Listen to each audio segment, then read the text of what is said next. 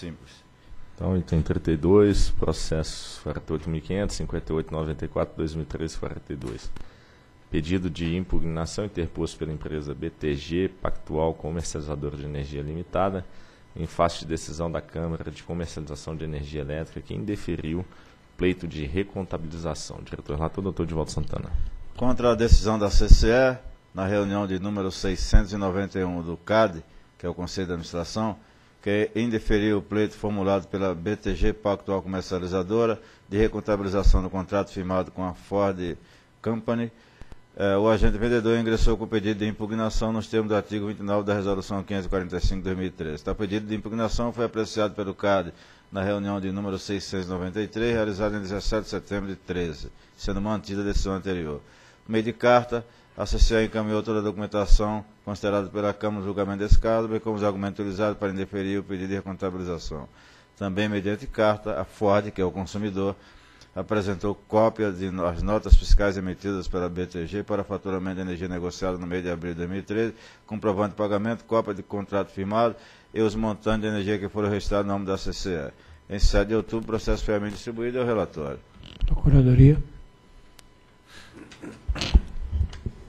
Aqui a, a questão debatida nesse pedido de impugnação da BTG é essencialmente técnica, mas é matéria no âmbito de competência de atuação da ANEL, do artigo 3 inciso 19, estando, portanto, em condição de ser deliberado pela diretoria.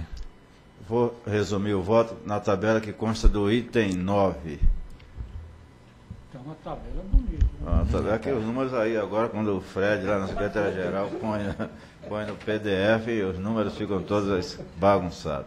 Mas é o seguinte, aqui mostra os montantes contratados pela foto em carga leve, média e pesada, e os montantes, os montantes que foram registrados. E houve um equívoco no registro, registrou-se os mesmos montantes só que o que era o que era para estar em carga leve foi registrado em carga pesada. A CCE, como está registrada, esse é o número que vale. Acho que não deveria ser assim, como a CCE tem os registros dos meses anteriores, era só verificar que o montante de carga pesada, em geral, é maior do que o de carga leve.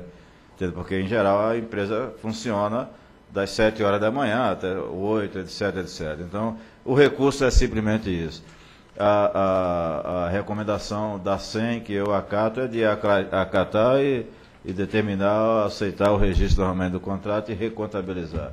Aliás, esse é o primeiro caso em que o, o, a outra parte, que é o consumidor, que em geral não se mete nisso, foi o mais preocupado, mandou para cá as notas, ah, eu paguei isso, os montantes foram esses, seja, está devidamente comprovado quais foram os montantes utilizados, quanto eram os montantes registrados antes, portanto, foi um equívoco mesmo, e coincidentemente, a exemplo de outros casos que nós tivemos aqui, aconteceu também naquele primeiro mês que mudou lá o sistema de registro do contrato.